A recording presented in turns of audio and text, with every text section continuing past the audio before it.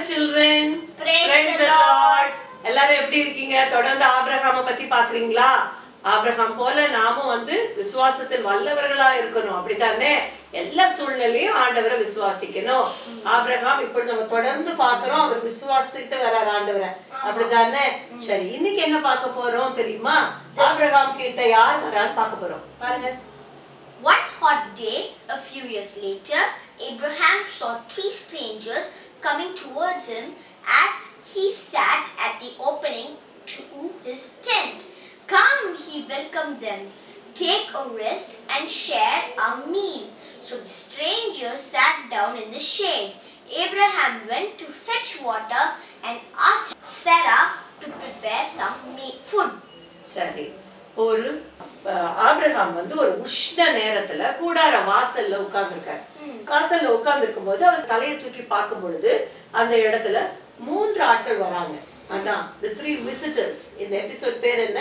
த three visitors இது எங்க பாக்குறோம்னா ஜெனசிஸ் 18 வர்சஸ் 1 டு 10 சரியா?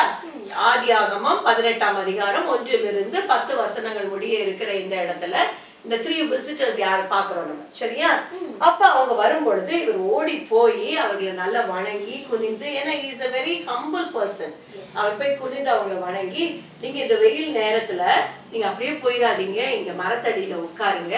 நான் போய் டென்ட்ல இருந்து தண்ணி கொண்டு வரேன். முதல்ல தண்ணி கொடுக்கறது தானே வழக்கம். சரியா? வந்தவங்களுக்கு முதல்ல என்ன கொடுப்பாங்க?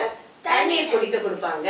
சரி இவர் ஓடி போய் அவங்களுக்கு வந்து தண்ணி கொண்டு வந்து கொடுத்த உடனே அவங்க கை கால்லாம் கழுவி தண்ணி முகம்லாம் கழுவி அந்த இடத்துல ஷேட்ல ட்ரீ ஷேட்ல அங்க உட்கார்ந்துருக்காங்க. உடனே ஆபிரகாம் வீட்டுக்குள்ள டென்ட்டுக்குள்ள ஓடி வந்து சாரா கிட்ட சொல்றாரு நல்ல மாவு எடுத்து ஜலிச்சு நல்ல மெல்லிய சாஃப்டா இருக்கும் அந்த மாவு நல்ல அப்பஞ்சுடு அப்படின்னு சொல்லி இவர் வந்து அந்த மந்தைக்குள்ள போய் ஒரு நல்ல கன்றுக்குட்டியை எடுத்துட்டு வந்து கொடுத்து சமைக்க சொல்றாரு. இப்ப வந்தவங்களுக்கு உபசரிக்கிறார். சரியா? அடுத்தது படிமா Thank you, said the man.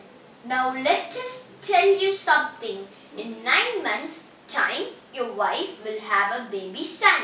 Sarah overheard this from where she sat in the tent and laughed out loud. I'm far too old to have a child, she thought.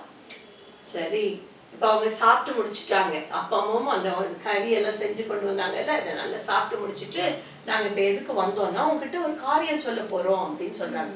சொல்லிட்டு உன் மனைவி சாராளுக்கு ஒரு ஆண் குழந்தை பிறக்க போகுது. பேபி பாய்னு போட்டிருக்கா?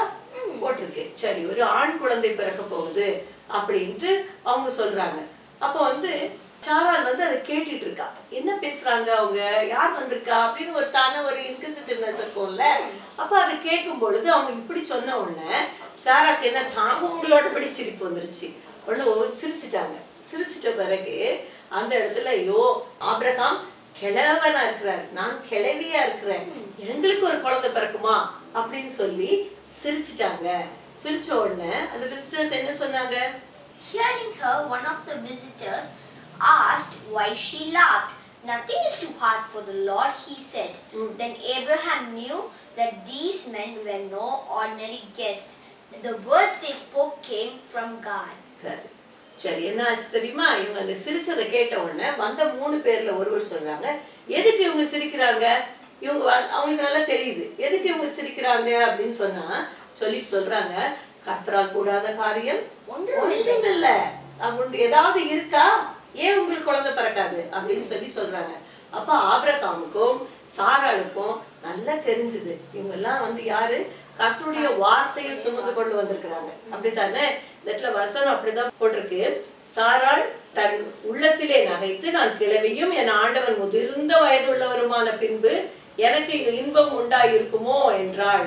அப்பொழுது கர்த்தர் ஆபிரகாமை நோக்கி சாராள் நகைத்து நான் கிழவியா இருக்க பிள்ளை பெறுவது மெய்யோ என்று சொல்வானேன். அப்ப வந்திருக்கிறது யாரு? அப்பொழுது கர்த்தர் ஆபிரகாமை நோக்கி.